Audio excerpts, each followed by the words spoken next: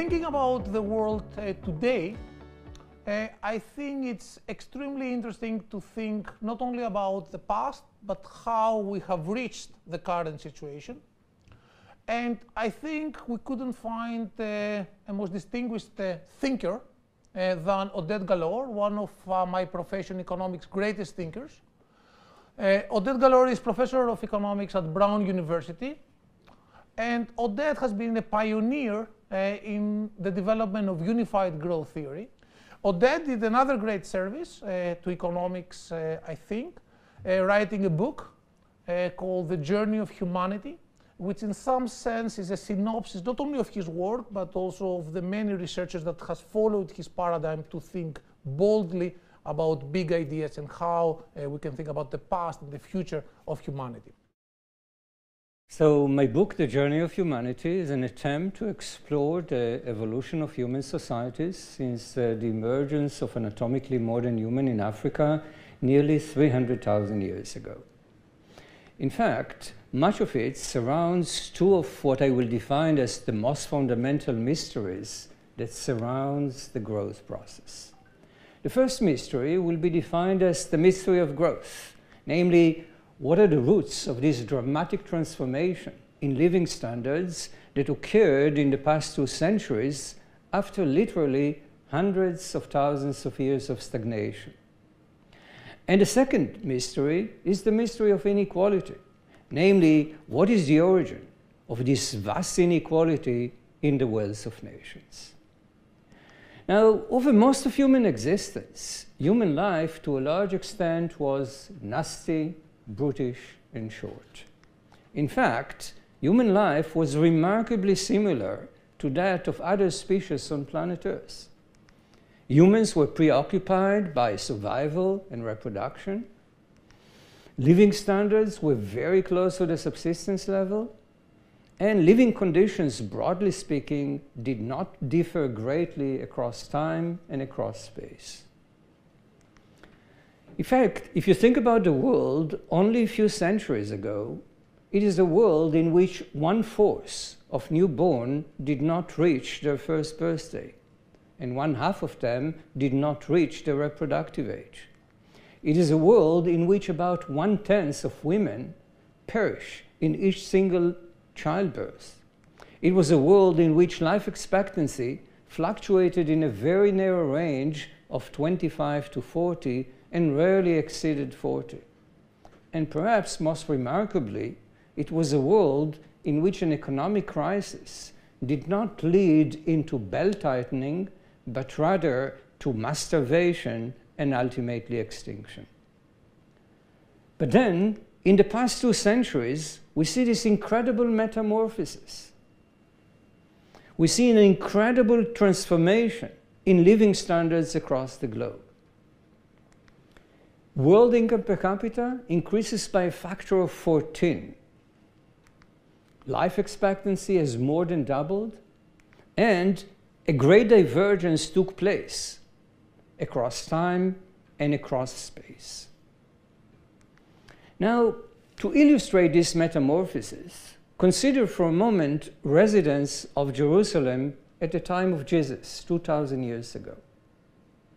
Roman Jerusalem and whisk them in a time machine forward to Ottoman rule, Jer Jerusalem at the beginning of the 19th century. So this will be a nearly 12, 2,000 year jump forward. Despite this jump, that is quite significant, these individuals will be able to adjust instantaneously to the new environment. Past knowledge would be largely applicable. Technological improvements would be merely incremental and would permit instantaneous adaptation.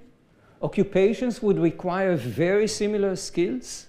And importantly, life expectancy would not change. And as a result of it, would not require a change in the individual mindset, would not require future-oriented mindset. But now, consider these individuals and whisk them again in time this time only 200 years forward, from Ottoman ruled Jerusalem at the beginning of the 19th century to Jerusalem of today. Despite this modest jump in time, this will be a shocking experience, a devastating experience. Now, in contrast to some conventional wisdom, it is important to note that living standards has not evolved gradually in the course of human history. Technology evolved gradually in the, in, in the course of human history, but it was converted into more people rather than more prosperous people. And as a result of it, what we see in the course of the past 200 years is a metamorphosis that is associated with what I will define as a phase transition, namely a change in the structure of the system once a tipping point has been reached. And this change is ultimately generating this dramatic increase in living standards.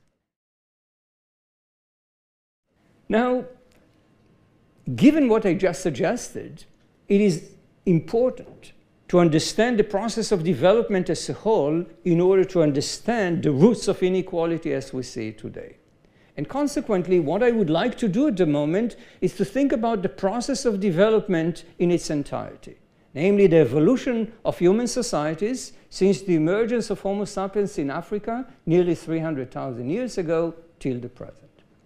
Now, when you think about the process of development, you can divide the process of development into three fundamental phases. The first one will be defined as the Malthusian epoch. The second one is the post-Malthusian regime. And the third one is the one that is familiar to us, is the modern growth regime. Now, the Malthusian epoch originates with the emergence of Homo sapiens in Africa nearly 300,000 years ago and it spends 99.9% of human existence. It ends in the eve of industrialization in the context of the most advanced societies in the world. What is unique about the Malthusian epoch is that this is an epoch of stagnation in income per capita, but at the same time, this is an epoch of dynamism in terms of technology, population, and human adaptation. And it is this dynamism that ultimately, after 300,000 year period, is bringing about this takeoff initially into the post-Malthusian regime, and ultimately, in the aftermath of the demographic transition, it brings about the so-called modern growth regime. So it is critical, in fact, to understand the forces that operated during the Malthusian epoch. These are the forces that ultimately led into the differential timing of the transition from stagnation to growth and to much of the inequality as we see it today. So as I said earlier, the Malthusian epoch is characterized by this important dualism, stagnation along with dynamism. So in the context of stagnation, stagnation occurs in living standards. Income per capita, as I said before, fluctuated around the subsistence level of consumption. Life expectancy fluctuated in, a very narrow range of 25 to 40 and rarely exceeded 40. But at the same time, this is a period of dynamism. And the dynamism occurs in technology, the dynamism occurs in population, and the dynamism occurred in the context of human adaptation to the technological environment and to the geographical environment. Now, at any point in time, what I define as dynamism is nearly negligible. It's very small. Technological progress advances at a very, very slow pace. We move from one stone tool technology to another stone tool technology over thousands of years. But over 300,000 year period, these little small increments are resulting in an enormous space of technological progress. So we move from stone tool technologies 300,000 years ago to steam engine technologies in the midst of industrialization or in the eve of industrialization. We move from population in the world of about two and a half million in the eve of the agricultural revolution 12,000 years ago to about 1 billion people in the midst of industrialization. 400 fold increase in the size of the human population despite Malthusian stagnation. And at the same time, we see great adaptation of the human population. And it is these three forces, technological progress, population growth, and human adaptation, that are ultimately the wheels of change. They are the forces that are governing the pace of the transition from stagnation to growth. They are the dynamic forces that ultimately trigger the transition from stagnation to growth. So given their importance, it is important to realize how each force in, in turn affected other forces that operated during this time period. And the first element that is very important to note during the, this Malthusian dynamism is the impact of technological progress on the scale of the population. So this was a time period in which technological progress, as it is today, increased income per capita, but only temporarily. Why? Because in fact, the increase in income per capita permitted more children to survive, more of them to be born, and as a result of it, population growth counterbalanced the growth of technology and income per capita inevitably reverted back to the previous equilibrium position. The second one has to do with the impact of technology on human adaptation. So as I said before, the Malthusian pressure affected the size of the human population. Better technology permitted larger population to be supported. But in fact, it affected the composition of the human population as well. Namely, it generated certain adaptations of humans to the technological environment and to the geographical environment. And the third element has to do with the origins of technological progress. Naturally, technological progress was not manna from heaven. It was affected by the size of the population the potential number of innovators, the demand for innovators, and at the same time, the composition of the population, how adapted people are to the technological environment. So what we see in the course of human history is the rotation of the wheels of change. And during the Malthusian epoch, it is the time period in which the size of the population and the composition of the population are affecting technological progress. But in turn, technological progress permits larger population to be sustained and permits greater adaptation of the human population to the technological environment. So in the course of human history, we see this reinforcing mechanism between technology and the size and the composition of the population. And this implies that over time, as I said earlier, technological progress becomes more and more rapid. And ultimately, it reaches a critical point, a tipping point. When this critical point is being reached, the environment is changing so rapidly that in order to cope with this rapidly changing technological environment, people must invest in themselves. They must invest in their education in order to learn how to navigate this stormy technological environment. Responsible parents start to invest in the education of their kids. But naturally, investment in education is not a free lunch. It must come on the account of other elements in the budgets of these individuals. These individuals live very close to the subsistence level, so they cannot economize on their own consumption.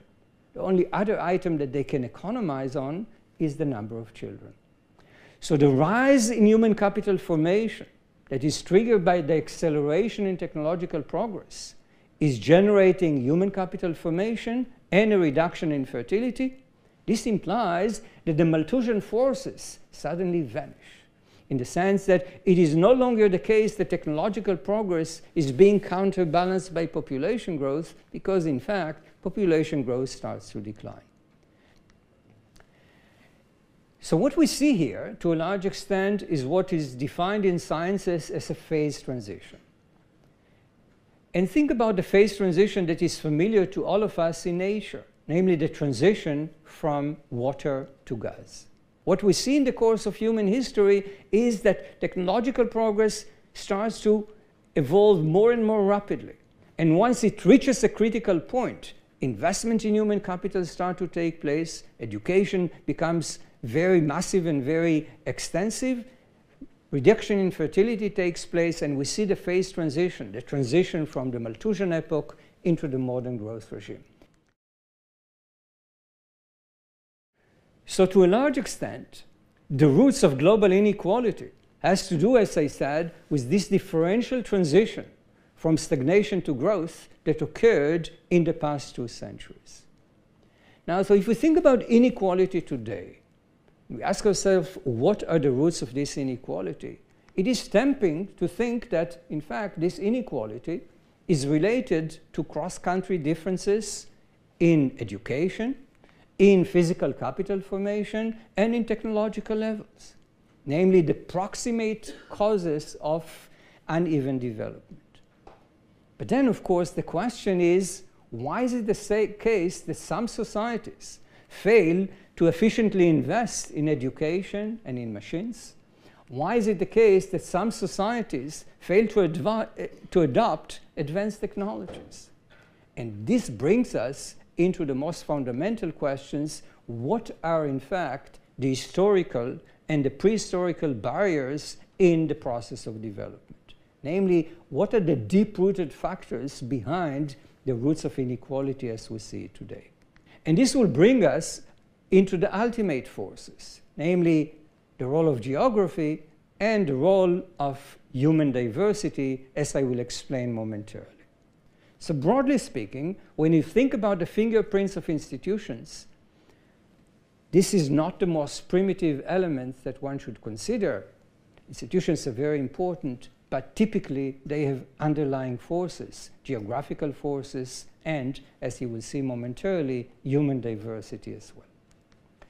So as we peel gradually the different layers of influence on the roots of inequality today, we can move back from Uh, into the understanding of what I will define as the cultural factor, namely the emergence of differential cultural traits in different regions across the globe.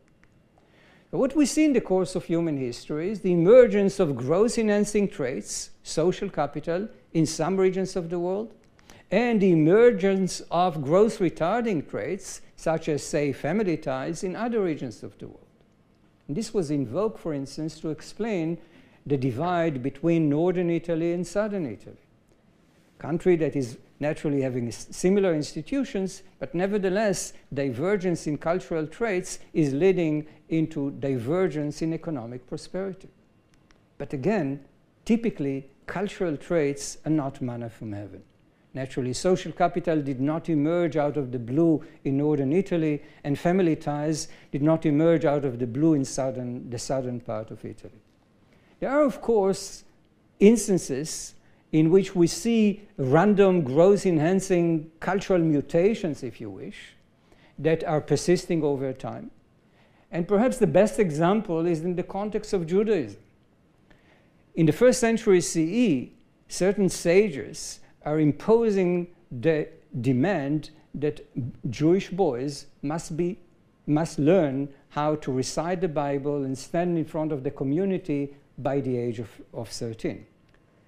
It has no economic justification whatsoever. It is entirely capricious at the time, but nevertheless, this cultural mutation persists over time because ultimately human capital, education, became highly rewarded in occupations that emerge over time, particularly in the urban sector. But as I said, cultural traits largely evolve gradually in the process of development. They evolve and they adapted to the economic environment, to the technological environment, and to the geographical environment. So this leads us to, to take a step back to understand how, in fact, culture and geography emerge in the first place. If you wish, it leads us into the exploration of the long shadow of geography. So as I said, geographical characteristics such as soil quality, climate, the disease environment, and even geographical isolation had an indirect effect okay, on the evolution of cultural characteristics and the evolution of institutional characteristics. And these elements ultimately persisted and generated some of the inequality that we see across the globe. So it is primarily geographical characteristics that are operating through institutional and cultural characteristics that are affecting inequality as we see across the globe today. Now, as we think about geography and we try to peel the different layers of influence, we are led ultimately into the onset of the agricultural revolution 12,000 years ago. So the agricultural revolution, or the Neolithic revolution if you wish, is in fact the transition of societies from hunter-gatherer tribes to agricultural communities. And this transition is associated with the emergence of a non-food producing class. And this non-food producing class is ultimately engaged in knowledge creation in the form of science, in the form of technology, and in the form of written languages. And this knowledge creation is generating a technological head start that persists over time. And according to Jared Diamond, in his influential thesis about the Neolithic Revolution and comparative development, the variation in the timing of the Neolithic Revolution across the globe explain much of the variation in global inequality today. Namely, the fact that some societies transition into the Neolithic earlier than others implies that those societies are more prosperous today because of this technological head start that persisted over time. The evidence, unfortunately, are not very complementary to this thesis. So the evidence shows something very, very striking. In the past, in the Middle Ages, the Diamond hypothesis is very important for the understanding of comparative development. Namely, technological head starts explain much of the variation in inequality across the globe till the year 1500. But today, in fact, it has no impact for the simple reason that the Neolithic Revolution had a dual effect on economic prosperity. On the one hand, the Diamond argument, namely a technological head start that persisted over time, and that's very important. But on the other hand, we see the emergence of comparative advantage in agriculture. And comparative advantage in agriculture in an era of globalization that emerges in the post-1500 period is a liability because there are limited technological spillover from agriculture and there, limited, uh, there is a limited demand for human capital. So ultimately the two forces are counterbalancing one another and in the present day the Neolithic Revolution has no explanatory power of the variations in income per capita across the globe. So we march all the way back to the onset of the Neolithic Revolution. But in fact, in order to understand global inequality today, we will have to march back all the way to Africa, from where we all originated. And what happens is that during the migration of anatomically modern humans from Africa, 60 to 90,000 years ago, the migration was such that the composition of population diversity across the globe was affected in a persistent way and ultimately comparative development or inequality as we see it today was affected in a very significant way. So let me explain the argument. So during the exodus of anatomically modern human from Africa, departing populations carried with them only a subset of the degree of diversity that existed in the parental colonies. And this diversity can be cultural, phenotypic, behavioral, or linguistic. Now, migration at the time was sequential. And as a result of it, what we see in the data is that there is lower level of diversity at greater migratory distance from Africa. And this is known as the serial founder effect. It is important because diversity has conflicting effects on productivity. On the one hand, diversity has beneficial effects on creativity and innovations. Namely, it generates cross-fertilization of ideas, complementarities in the production process, and this is beneficial for innovations. But on the other hand, diversity is associated with social non-cohesiveness. Generate mistrust, it generates disagreement about the desirable public goods, the amount of investment in education, the amount of investment in health, or just political division. And consequently, it is associated with conflicts. And this implies that if, in fact, there are positive and diminishing effects of diversity on innovations, and there are positive and diminishing effects of homogeneity on social cohesiveness, one should expect a hump-shaped relationship between migratory distance from Africa or diversity and economic productivity. And this is precisely what the data is showing us. If you focus on panel B, for instance, this is the world in the year 1500. This is, in fact, data about urbanization. And as you can see, there is an intermediate level of diversity that maximizes productivity. It's very significant in terms of the economic impact of it. If you look at panel C, this is today's world. Okay? Again, hump-shaped relationship. So in the year 1500, the optimally diverse societies were societies such as Korea, Japan, and China. Societies that we hardly identify with optimally diverse societies. But the name of the game in 1500 was very different. This is a time period in which technological progress is not very rapid, and as a result of it, the benefits of homogeneity in terms of, of social cohesiveness is much more important than the potential adverse effect on innovativeness. But as you move to panel C, which is today's world, in fact, the optimal level of diversity is associated with a society like the US society, namely society that is significantly more diverse. So as we move into a more challenging technological environment, cultural fluidity, diversity is very important in permitting individuals to navigate this stormy technology, stormy technological environment, and consequently uh, um, the level of diversity is uh, increasing, the optimal level of diversity is increasing over time. And if we project into the future, this implies that since we are moving into a more and more demanding technological environment, societies that are increasingly more diverse will, will have the upper hand in terms of productivity. Thank you.